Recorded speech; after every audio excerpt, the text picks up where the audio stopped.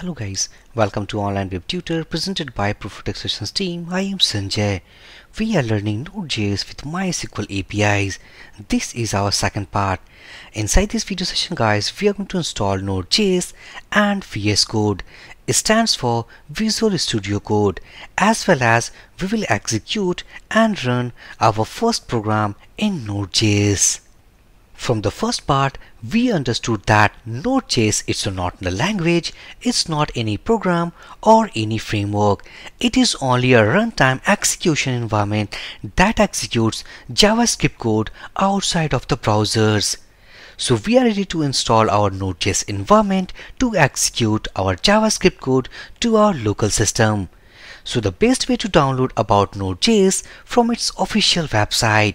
So back to browser now this is the official website called nodejs.org. From this browser means from this website actually we can download about long-term support that is current stable version. So before installing Node.js, if I type command node v, then it will give an error something node package does not found in my system.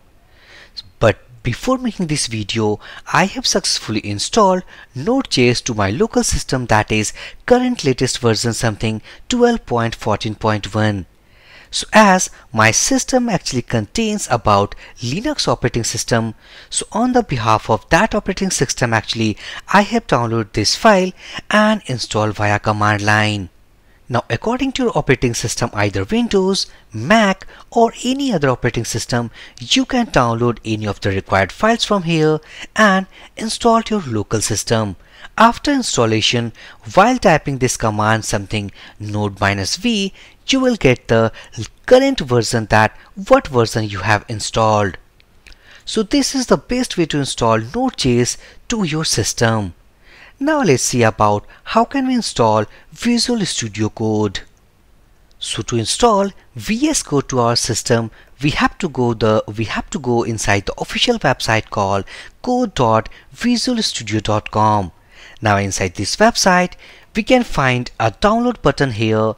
While going through this download button actually, according to operating system, it has also provided about the download options as my system contains about Linux operating system so I have downloaded called .deb file and installed via this package. Now if your system has contained about Windows like 7, 10 or any version of Windows operating system you can download from here and install to your system. So basically guys, I have downloaded about the Node current version as well as Visual Studio Code. And I also strongly recommend you to download this software basically for the programming of JavaScript frameworks. As because this editor gives us the wide nature of let's say various nature to actually use and do our JavaScript code inside this editor. This is a powerful editor for the JavaScript frameworks because it contains several plugins or several packages to do and code inside it. So I strongly recommend you to that if you are JavaScript programmer then must install this software to your local system. Now all we have seen that how can we install about Node.js and Visual Studio Code let's go ahead and run our first program in Node.js. So if I back to browser, now this is the folder actually I have created inside HTML folder and I'm going to import this folder inside let's our inside VS Code. So I'm going to open this folder inside VS Code and successfully I have imported that folder inside VS Code. So right now this folder is totally empty so it is not containing any file. So let's create first file that is app.js. So inside this file simply I'm going to write a small snippet of JavaScript code and execute via Node.js. So let's create a function inside this app.js let's say function let's say, say hi and inside this simply I'm going to console.log if I make zoom of this file so go to view appearance and let's zoom in. So successfully we have zoomed that. Now inside this app.js, simply we have made a function, let's say hi, and inside this function we are going to pass a parameter called name, and let's say hi, and we are going to concatenate this value with this name parameter. So this is basically hi and let's pass a value something online web tutor. So it will console that is hi online web tutor. Now we are going to call this function. So let's just say hi. And inside this, if I pass the name, let's say online web tutor. Now successfully we have done that. So how can we execute this app.js via node programming?